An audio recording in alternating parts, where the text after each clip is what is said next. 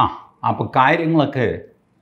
നമ്മൾ പറഞ്ഞ പോലെ തന്നെ ഞെരിപ്പായിട്ട് നടക്കുന്നുണ്ട് ബംഗ്ലാദേശിൽ ഹിന്ദുക്കളെ കാണുന്നിടത്ത് വെച്ച് കൊല്ലുന്നുണ്ട് അങ്ങനെയാണല്ലോ ഗ്രന്ഥത്തിൽ പറഞ്ഞിരിക്കുന്നത് കാണുന്നിടത്ത് വെച്ച് കൊല്ലുക പതിയിരുന്ന് കൊല്ലുക തട്ടിക്കളയുക ഇങ്ങനെ അമ്പലം പൊളിക്കുക അതൊക്കെ ചെയ്യുക പുതിയ പരിപാ മറ്റേ പുതിയതെന്ന് പറയാൻ പാടില്ല കേട്ടോ താലിബാൻ ട്രൈ ചെയ്തതാണത് ഈ തലകിഴുക്കനാമ്പാട് കെട്ടിത്തൂപ്പ്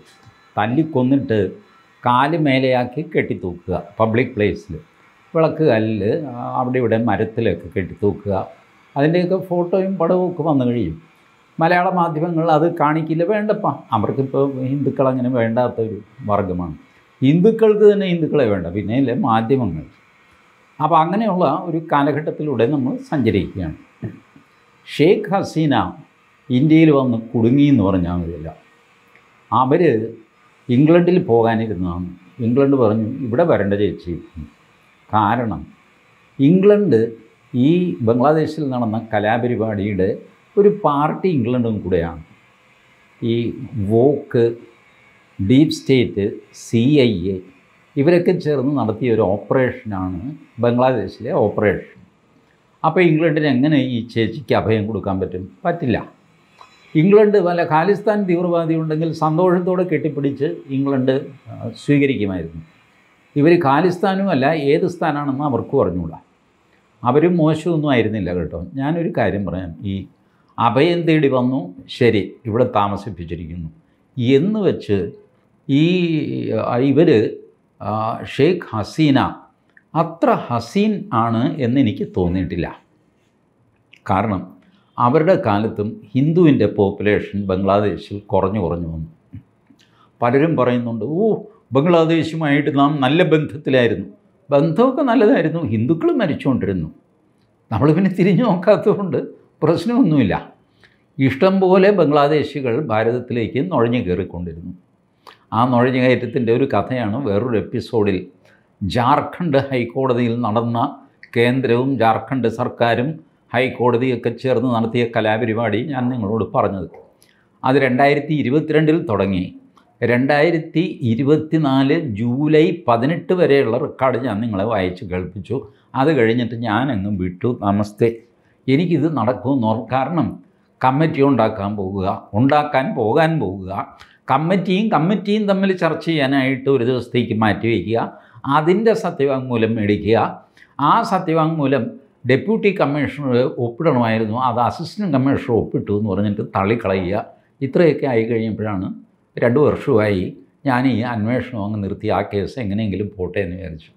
ഞാനത് പറയാൻ കാര്യം എന്താണെന്ന് വെച്ചാൽ ജാർഖണ്ഡ് ഹൈക്കോടതി വിധിച്ചു എന്നൊക്കെ പറഞ്ഞിട്ട് വലിയ പ്രചരണമായിരുന്നു ഒരു വിധിയുമില്ല ജാർഖണ്ഡ് ഹൈക്കോടതിയുടെ ഇൻ്ററിം മോഡലിൽ സത്യവാങ്മൂലം കൊണ്ടുപോവാ എന്ന് പറഞ്ഞ് സർക്കാരിനോട് ആജ്ഞാപിച്ച ഇൻ്ററിം മോഡലിലെ ഒരു വാചകമാണ് ഇങ്ങനെ പോയി കഴിഞ്ഞാൽ ഇവിടുത്തെ ഡെമോഗ്രാഫിയൊക്കെ മാറിപ്പോകും എന്നുള്ള വാചകം ആ വാചകം എടുത്താണ് ആൾക്കാർ ആഘോഷിച്ചുകൊണ്ടിരുന്നത് എന്നിട്ടും കേന്ദ്ര സർക്കാരോ ജാർഖണ്ഡ് സർക്കാരോ കുലുങ്ങിയിട്ടില്ല അതാണ് ബംഗ്ലാദേശിൽ നിന്ന് വരുന്ന നുഴഞ്ഞുകയറ്റക്കാരുടെ സ്റ്റാറ്റസ് ധാരാളം പേര് വരുന്നുണ്ട് ഇനിയിപ്പോൾ ഹിന്ദുക്കൾ വന്നു കഴിഞ്ഞാൽ സ്വീകരിക്കുമോ എന്ന് അറിഞ്ഞുകൂടാ അവർക്ക് എന്തെങ്കിലും കഞ്ഞിയോ വെള്ളമോ കൊടുക്കാൻ ആരെങ്കിലും ഉണ്ടാകുമോ എനിക്കറിഞ്ഞുകൂടാ അവർക്ക് വേണ്ടി ജാഥയില്ല പ്രകടനമില്ല വേദിയില്ല ഒന്നുമില്ല പാലസ്തീനിൽ എന്തോ നടന്നു ഗസയിൽ നടന്നു എന്നൊക്കെ പറഞ്ഞിട്ട് ഇവിടെ വലിയ മാരണമായിരുന്നു ഏ ആ ഇസ്മായിൽ ഹനിയ എന്ന് പറഞ്ഞിട്ട് ഈ ഹമാസിൻ്റെ നേതാവാത്തെ മടിയില്ലേ അവനെ ആരാണ്ട് തല്ലിക്കൊന്നു ബോംബ് വെച്ച് കൊന്നു ഇവിടെ വലിയ ജാഥ നടത്തി പക്ഷേ ബംഗ്ലാദേശിലെ ഹിന്ദുക്കൾക്ക് ചോദിക്കാനും പറയാനും ആരുമില്ല എല്ലാവർക്കും അത് ബംഗ്ലാദേശിലല്ലേ നമുക്കെന്താ എന്ന് പറഞ്ഞ് സന്തോഷമായിട്ടിരിക്കുകയാണ് കാര്യം വളരെ ഗുരുതരമാണ് ഇങ്ങനെ ഉഴപ്പിക്കൊണ്ടിരുന്നാൽ ശരിയാവില്ല ഞാൻ അത് പറയുമ്പോൾ ഇന്ത്യ ഗവൺമെൻറ് എന്ത് ചെയ്യണം ചെയ്യേണ്ട ഒരു കാര്യമുണ്ട് ബംഗ്ലാദേശിലെ ഹിന്ദുക്കൾ അവരൊരു ഒന്നോ രണ്ടോ കോടി വരും അവരെ ഇങ്ങോട്ട് എടുക്കുക ഇവിടെ എങ്ങാനും താമസിപ്പിക്കുക അവർക്ക് തോക്കും കൊടുക്കുക അവർ ബംഗാളിൽ തന്നെ താമസിച്ചോട്ടെ ബംഗ്ലാദേശികളോ നുഴഞ്ഞു കയറുന്നു ഇവരെ സ്വീകരിച്ച് വിളിച്ചു വരുത്തുക ജീവരക്ഷയ്ക്കായിട്ട് ലൈസൻസുള്ള തോക്കും കൊടുക്കുക അതിർത്തിയും നിങ്ങൾ നോക്കണം എന്ന് പറയുക അത് നിങ്ങൾ നോക്കിക്കോളും പാവം പ്രാണരക്ഷാർത്ഥം പാഞ്ഞു വരുന്നവരില്ലേ അവർ ജീവരക്ഷയും നോക്കിക്കോളും ഇങ്ങനെ എന്തെങ്കിലും ചെയ്യുക കാരണം ഇതുപോലെ പല രീതിയിൽ പണ്ട് ചെയ്തിട്ടുണ്ട് ആദ്യം ഇത് പറഞ്ഞ ആൾ ലാം ജത്ത് മലാനിയാണ് നമ്മുടെ വിമാനം തട്ടിക്കൊണ്ടുപോയിട്ട് നമ്മളെ ബ്ലാക്ക് മെയിൽ ചെയ്തല്ലോ ഖാണ്ഡഹാർ അഫ്ഗാനിസ്ഥാനിൽ വിമാനം കൊണ്ടുപോയി നിർത്തിയിട്ട് ആ തീവ്രവാദികളെ വിടണം എങ്കിൽ വിമാനത്തിലുള്ള ഇന്ത്യക്കാരെ വിടാം എന്നായി ഈ തട്ടിക്കൊണ്ടുപോയവർ അപ്പോൾ ഇവിടെ വലിയ ചർച്ചയായി ബഹളം ജാഥയൊക്കെ ഓർമ്മയുള്ളവർക്ക് ഓർമ്മയുണ്ടാവാം വൃന്ദാക്കാരായിട്ടൊക്കെ അങ്ങോട്ട് ഇറങ്ങിയിട്ട് പോക്കൃത്തരം കാണിക്കുന്നോടാ ഏ തീവ്രവാദികളെ തുറന്നു വിടുക മനുഷ്യജീവന് വിലയില്ലേ നൂറ്റി അൻപത്താറ് പേരോ എൺപത്താറ് പേരോ അങ്ങനെ എന്തോ ആ എന്നൊക്കെ പറഞ്ഞിട്ട് വൻ ബഹളമായി വാജ്പേയിയുടെ കാലമാണ് ഒടുവിൽ വാജ്പേയി കീഴടങ്ങി ക്യാബിനറ്റ് വിളിച്ചു കൂട്ടി ക്യാബിനറ്റിൽ അന്ന് നിയമമന്ത്രിയായിരുന്നു റാം ജേഠ്മലാനി വലിയ അഡ്വക്കേറ്റ് ജേഠ്മലാനി പറഞ്ഞു ഒരു മെസ്സേജ് അവർക്ക് കൊടുക്കുക ആ വിമാനത്തിലെ ഒരു ഇന്ത്യക്കാരനെ നിങ്ങൾ കൊന്നാൽ കാശ്മീർ ജയിലിൽ കിടക്കുന്ന രണ്ട് തീവ്രവാദികളെ ഞങ്ങൾ കൊല്ലും ഒന്ന് ഈസ്റ്റു രണ്ട് ഇതാണ് വരാൻ പോകുന്നത് ധൈര്യമായിട്ട് കൊന്നു എന്ന് പറയുക അവന്മാർ കൊല്ലില്ല ഇതായിരുന്നു രാം ജെഠ്മലാനിയുടെ പോയിന്റ് അതൊക്കെ ഓവർ റൂൾ ചെയ്യപ്പെട്ടു അങ്ങനെയൊന്നും പറ്റില്ല എന്നൊക്കെ പറഞ്ഞിട്ട് നമ്മൾ നല്ല ഗടാഗടിയൻ തീവ്രവാദികളെ മസൂർ അഹമ്മദ് അടക്കം കൊണ്ടുപോയി കൊടുത്തു അവർ നമ്മുടെ വിമാനത്തിലുള്ള ആൾക്കാരെയും തിരിച്ചു തന്നു ആ മസൂദ് അസറിനെ കൊണ്ട് ഇപ്പോഴും കിടക്കപ്രതിയില്ല കഴിഞ്ഞ മാസം അയാൾ മരിച്ചു എന്ന് പറയുന്നു അയാൾ മരിച്ചോ ഇല്ലയോ കാരണം നാലഞ്ച് തവണ ഇയാൾ മരിച്ചു എന്നുള്ള വാർത്ത വന്നതാണ് അതുകൊണ്ടാണ് ഞാൻ ഈ സംശയം പറയുന്നത് യുവമാരാ കളിയൊക്കെ കളിക്കുന്നുണ്ട് ഏതായാലും അജ്ഞാതൻ കൊന്നു എന്നൊക്കെ പറഞ്ഞിട്ടാണ് കാറിൽ വെടി വെച്ചു എന്നൊക്കെ പറഞ്ഞ് അല്ലെ പഴയ പോലെയല്ല ഇത്തവണ ചത്തത് തന്നെയാണ് ഞാൻ മൂക്കിൽ വിരൽ വെച്ച് നോക്കി എന്നൊക്കെ പറയുന്നു ആൾക്കാർ എന്ത് വാങ്ങിക്കുന്നുണ്ട് അത് പിൽക്കാലത്ത് ജേഠ്മലാനിയോട് ചോദിച്ചു ഈ ക്യാബിനറ്റിൽ നടന്ന കാര്യം രഹസ്യമാണല്ലോ എപ്പോഴും നിങ്ങളിങ്ങനെ അന്ന് ക്യാബിനറ്റിൽ പറഞ്ഞിരുന്നോ ജേഠ്മലാനി പറഞ്ഞു ഞാൻ പറഞ്ഞതാണ് ഞാൻ പറഞ്ഞതാണ് ഒന്നിന് രണ്ട് വെച്ച് ഇവിടെ കൊന്നു കഴിഞ്ഞാൽ ഈ പരിപാടി നിൽക്കും എന്ന് പറഞ്ഞതാണ് പിന്നെ ഒരു സംഭവം എൻ്റെ ഓർമ്മയുള്ളത് അമർനാഥ് യാത്ര ആക്രമിക്കും എന്ന് ലഷ്കർ എ തൈബ പറഞ്ഞു പറഞ്ഞതായിട്ട് വാർത്ത വന്നു ബഹളമായി ഈ വർഷം അമർനാഥ് യാത്ര അനുവദിക്കില്ല എന്ന് ലഷ്കർ എ തൈബ അന്ന് വേറൊരു ആൺകുട്ടി നമ്മുടെ മഹാരാഷ്ട്രയിലുണ്ടായിരുന്നു അങ്ങേരുടെ പേര്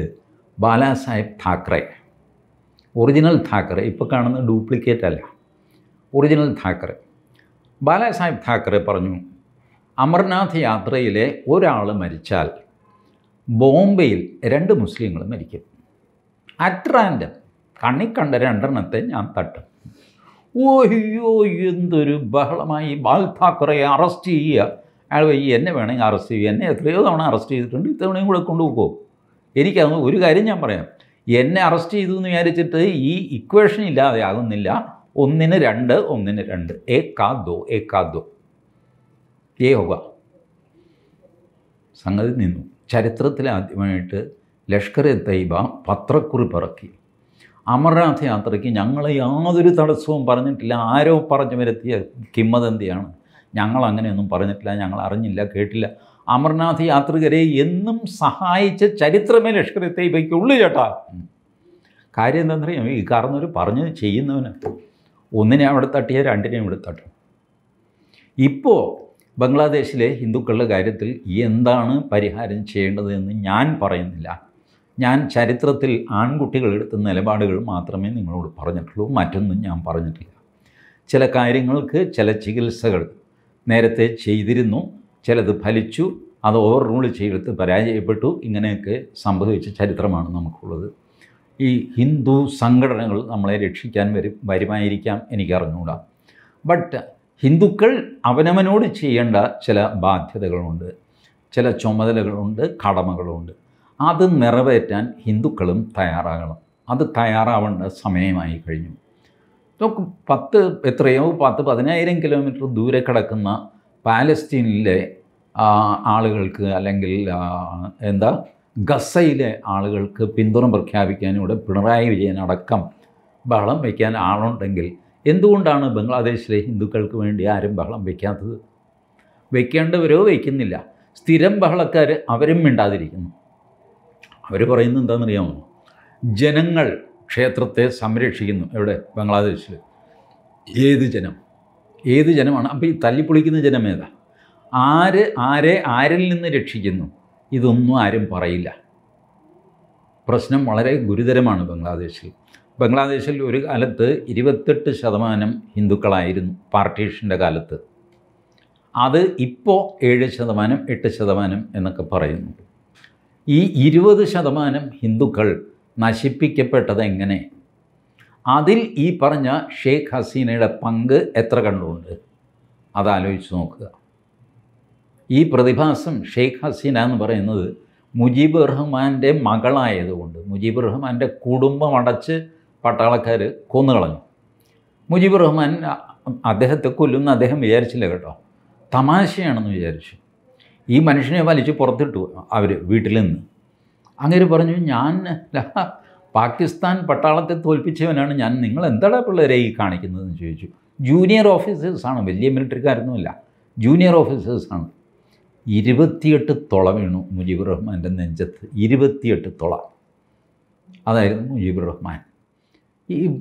നമ്മൾ വളരെ നിസ്സാരമാണെന്ന് പറയാം ഈ പിള്ളേരൊക്കെ എന്ത് ചെയ്യാനാണെന്ന് അവർ ചെയ്ത് കാണിച്ചില്ലേ ഒരു ഭരണകൂടത്തെ തന്നെ അട്ടിമറിച്ചു അന്ന്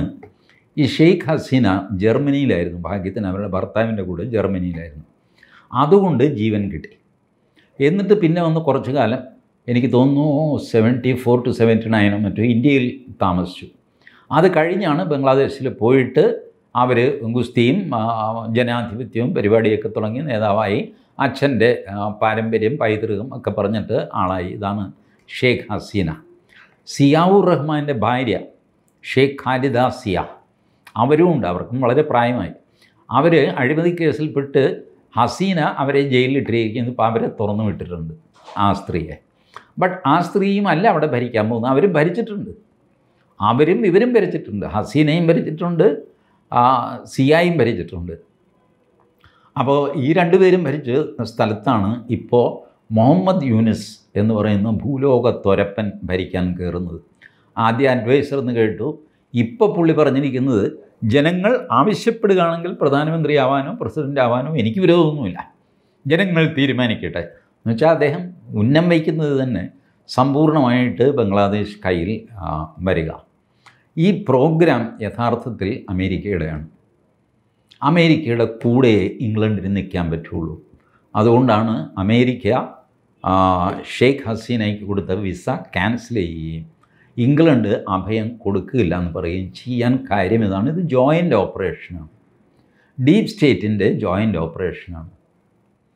അവിടെ ഒരു ക്രിസ്ത്യൻ സ്റ്റേറ്റ് അവർ പ്ലാൻ ചെയ്യുന്നുണ്ട് അതാണ് ഈ കുക്കി ക്രിസ്ത്യാനികളൊക്കെ ഇളക്കി വിട്ട് ഈ ബഹളമൊക്കെ നടത്തിയത് വാസ്തവത്തിൽ മണിപ്പൂർ പ്രശ്നം നേരെ ചൊവ്വേ ഭാരതം കൈകാര്യം ചെയ്തില്ല എന്ന് വിചാരിക്കുന്നവനാണ് ഞാൻ അവിടെ ഒരുപാട് തോക്കുകൾ ഉപയോഗിക്കേണ്ടതായിരുന്നു അത് ഉപയോഗിച്ചില്ല എന്ന് ഇപ്പോഴും ഞാൻ വിശ്വസിക്കുന്നു ഞാൻ മെയ്ത്തി വിഭാഗത്തോട് സംസാരിച്ചിട്ടുണ്ട് കുക്കിയോട് സംസാരിക്കാൻ എനിക്ക് സാധിച്ചില്ല പക്ഷേ കുക്കിയുടെ ഭാഗം വാദിക്കുന്ന ഒരു വക്കീലുമായിട്ട് ഞാൻ സംസാരിച്ചിട്ടുണ്ട്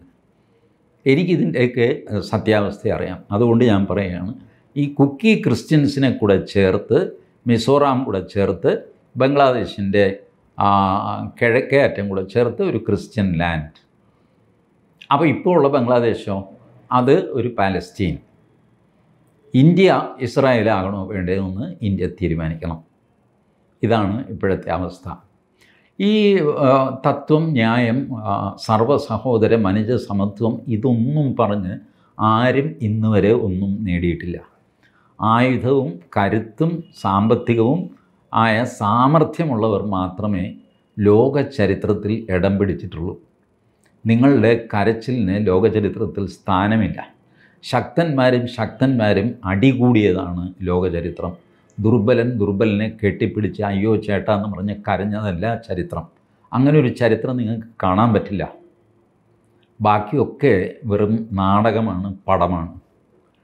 ഒരു അമേരിക്കൻ പ്രസിഡൻറ്റ് ബിൽ ക്ലിൻ്റൺ ആണെന്നാണ് എൻ്റെ ഓർമ്മ വിഖ്യാതമായൊരു പ്രസംഗമുണ്ട് മഹാത്മാഗാന്ധി ആദരണീയനാണ് മാർട്ടിൻ ലൂത്തർ കിങ് ആദരണീയനാണ് പക്ഷേ ഞാൻ അമേരിക്കൻ കപ്പൽപ്പടയുടെ അമേരിക്കൻ മിലിറ്ററിയുടെ യുണൈറ്റഡ് സ്റ്റേറ്റ്സ് ഓഫ് അമേരിക്കയുടെ തലവനാണ് എനിക്കെൻ്റെ ഡ്യൂട്ടി ചെയ്തേ പറ്റുള്ളൂ എന്ന് പറഞ്ഞ പ്രസിഡൻറ്റ് അതുകൊണ്ട് ഇവരൊക്കെ എഴുതി വെച്ച വലിയ വലിയ തത്വങ്ങൾ വെച്ചിട്ടല്ല ലോകം നടക്കുന്നത് ആ തത്വങ്ങൾ വ്യക്തിപരമായ തലത്തിൽ നമുക്ക് കൊണ്ടു നടക്കാം വ്യക്തിപരമായി നിങ്ങൾക്ക് അഹിംസ പ്രാക്ടീസ് ചെയ്യാം ഒരു രാഷ്ട്രത്തിന് അഹിംസ പ്രാക്ടീസ് ചെയ്യാൻ പറ്റില്ല പാടില്ല സത്യമല്ലേ ഒരു സമാജം എന്നുള്ള നിലയ്ക്ക് നിങ്ങൾക്ക് റെസിസ്റ്റൻസ് ആവശ്യമാണ് നിങ്ങൾക്ക് സമരം ചെയ്യേണ്ടി വരും വ്യക്തിതലത്തിൽ നിങ്ങൾക്ക് എന്ത് വേണമെങ്കിലും വിട്ടുകൊടുക്കാം സ്വന്തം ജീവൻ വേണമെങ്കിലും വിട്ടുകൊടുക്കാം അത് നിങ്ങളുടെ വ്യക്തിപരമായ കാര്യം എനിക്കൊന്നും വേണ്ട എന്ന് തീരുമാനിക്കുന്ന മഹാന്മാരായ ആളുകൾ ഒന്നും വേണ്ടാതെ ജീവിക്കുന്നവർ കാട്ടിൽ പോയി തപസ് ചെയ്യുന്നവർ അത് വേറൊരു ഏർപ്പാടാണ് ആധ്യാത്മികതയാണ് അത് വെച്ചിട്ടല്ല രാഷ്ട്രം ഒരു പ്രതിരോധം തീർക്കേണ്ടത് നമുക്കെതിരെ പ്രവർത്തിക്കുന്ന ശക്തികൾ എന്താണോ അവരുടെ തന്ത്രം തന്നെ നമുക്ക് ഉപയോഗിക്കേണ്ടി വരും ഇത് പ്രാഥമികമായ രാഷ്ട്രതന്ത്രത്തിൻ്റെ പാഠമാണ് ഇതാണ് റാം ജേഠ്മലാനിയും ബാൽ താക്കറേയും ഒക്കെ പ്രയോഗിച്ചത് അത് ബംഗ്ലാദേശിലെ ഹിന്ദുക്കൾക്ക് വേണ്ടി നമ്മൾ പ്രയോഗിക്കണം എന്നല്ല ഞാൻ പറഞ്ഞു വരുന്നത് ഞാൻ ചരിത്രം പറയുകയാണ് നിങ്ങളുടെ അടുത്ത് നിഗമനങ്ങൾ നിങ്ങൾ നടത്തിക്കോളും കാരണം ആൺകുട്ടികൾക്ക് മാത്രമേ ആൺകുട്ടി എന്ന് പറയും പെൺകുട്ടി ഇല്ലേ പെൺകുട്ടിയുമുണ്ട് നമ്മൾ സാധാരണ പറയുന്ന കരുത്തിൻ്റെ പര്യായമായിട്ട് ഇങ്ങനെ ഉപയോഗിക്കുന്ന വാക്കാണ് ആണുങ്ങൾ ആൺകുട്ടികൾ എന്നൊക്കെ പറയുന്നത് അതിന് വേറൊരു ജെൻഡർ മീനിങ് കൊടുക്കേണ്ട കരുത്തുള്ളവന് മാത്രമേ ഭൂമിയിൽ പിടിച്ചു നിൽക്കാൻ പറ്റുള്ളൂ ഈ കരുത്ത് ഭാരതത്തിനുണ്ട് പക്ഷേ അത് പലപ്പോഴും പ്രയോഗിച്ച് കാണുന്നില്ല ഇത്തവണയെങ്കിലും അത് പ്രയോഗിക്കുമെന്ന് ഞാൻ വിചാരിക്കുന്നു ഇനി പോലീസും പട്ടാളവുമാണ് നമ്മളുടെ സംരക്ഷകർ എന്ന് തീർത്തും അങ്ങ് വിശ്വസിക്കരുത് പോലീസും പട്ടാളവും നമ്മളും ചേർന്നതാണ് നമ്മളുടെ പ്രതിരോധ സൈന്യം എന്ന് വിചാരിക്കുക ഓരോരുത്തരും മനസ്സിൽ ഒരു പട്ടാളക്കാരനാവുക പോലീസുകാരനാവുക ലോ ആൻഡ് ഓർഡർ പാലിക്കേണ്ടത് നമ്മളുടെയും ബാധ്യതയാണെന്ന് മനസ്സിലാക്കുക ലോ ആൻഡ് ഓർഡർ ഭേദിക്കുന്നവരെ നേരിടാനും നമ്മൾ തയ്യാറാകുക അയാൾ എന്തെങ്കിലും ചെയ്തോട്ടെ എൻ്റെ മേത്ത് ചെളി തെറിച്ചില്ലല്ലോ എന്നുള്ള വിചാരം അവസാനിപ്പിക്കുക ഒരുമിച്ച് നിൽക്കേണ്ട ഒരു സമയമാണിത് ഈ ദുരന്തകാലത്ത് ഒരുമിച്ച് നിൽക്കണം എന്ന് പറയില്ലേ ഇതൊക്കെയാണ് ദുരന്തകാലം യഥാർത്ഥ ദുരന്തകാലം അല്ലാതെ നാല് പേര് വെള്ളത്തിൽ മുങ്ങി മരിച്ച് ഇപ്പോൾ മരിച്ചു എന്ത് ചെയ്യാനാണ് ശവം പെറുക്കിയെടുക്കുക ഇതേ മാർഗമുള്ളൂ അതും ഒരു ദുരന്തം തന്നെയാണ് അവിടെ ഒരുമിച്ച് നിൽക്കാമെങ്കിൽ ഇവിടെ ഒരുമിച്ച് നിൽക്കാത്തത് എന്താ നിൽക്കേണ്ടതല്ലേ തീർച്ചയായും നിൽക്കണം താങ്ക്